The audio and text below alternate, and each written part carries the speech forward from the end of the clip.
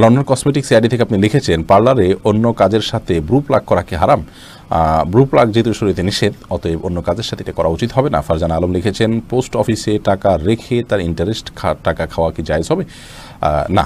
Post অফিসে টাকা রেখে তার যে ইন্টারেস্ট দেওয়া হয় সেটা সুদ। এই সুদ খাওয়া জায়েজ হবে না। স্বামীনা সুলতান আপনি লিখেছেন, মা মারা যাওয়ার পর নানা বাড়ির জমি বিক্রি করার সময় স্বাক্ষর করি, কিন্তু সেখান থেকে প্রাপ্ত টাকা আমার বাবা আমাকে দেয় না। এটা কি জায়েজ হবে? মা মারা যাওয়ার পর নানা বাড়ির যে জমি, সেই জমিতে আপনার ভাগ থাকবে অবশ্যই।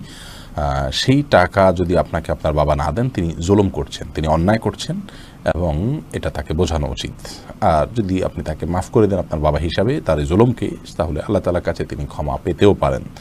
সাদিয়া মেহজাবিন তুরনা, আপনি লিখেছেন, হাতে বড় নখ থাকলে কি উজু হবে?